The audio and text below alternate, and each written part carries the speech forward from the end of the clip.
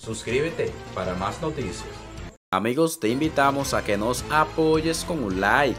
Producto de la crisis económica, por lo menos 400 mil dominicanos han pasado a la pobreza en los últimos dos años, opinó el dirigente del partido Fuerza del Pueblo, Rafael Paz. Dijo estar preocupado por este tema que está afectando a miles de familias y deteriorando nuestras condiciones de vida. Gracias amigos por seguir esta noticia.